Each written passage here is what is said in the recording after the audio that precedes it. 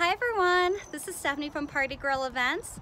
I have this box from Minted. These are save the dates I need to get into the mail, so I thought it would be a good idea to do a save the date video.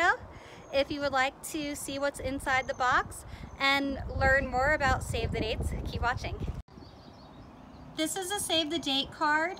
It goes really well with the theme of my client's wedding. It has a thick cardstock and a letterpress. The save the date we wanted doesn't exist, so we used Minted's custom design function. All that goes on the save the date are the date, the location, and the wedding website.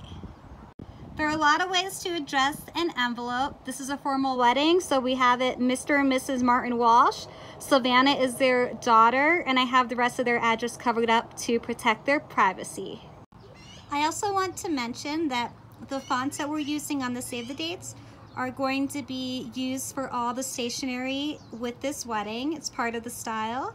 And this is important because the save the dates are the first thing that your guests are going to see. So you want to make a good impression. We also got custom stamps. We chose to have the couple's address on the back, but you don't have to do it this way. And that's it for Save the Dates. They're ready to go in the mail. I recommend doing Save the Dates after the wedding website.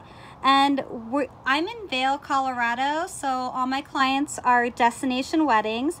So we like to send them six to eight months before the wedding.